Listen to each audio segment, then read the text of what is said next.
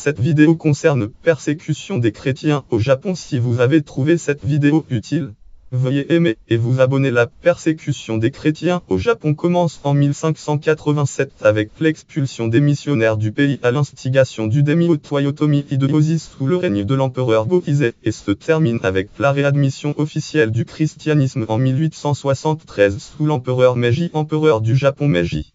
Histoire après l'arrivée des premiers marins portugais au Japon en 1542 commence-t-elle l'évangélisation sous l'impulsion de Saint François Xavier.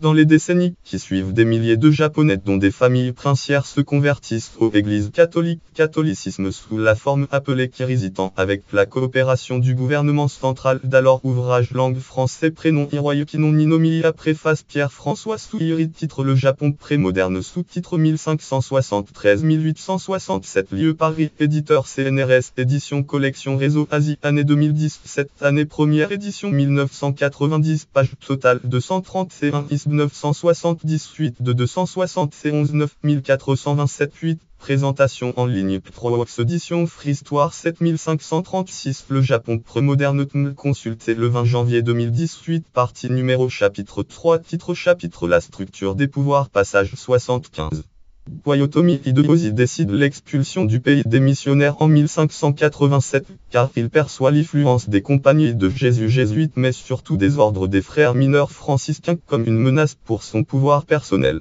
Toutefois pour des raisons d'ordre économique ce décret est peu appliqué.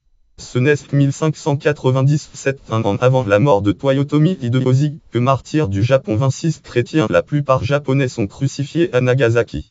Tokugawa Ieyasu le successeur de Toyotomi Hideyoshi fait d'abord preuve de tolérance, car il profite du commerce avec les Portugais. Cela est sans doute dû également à l'influence de son consultant britannique William Adam navigateur anglais William Adam. Mais après la mort d'Adam,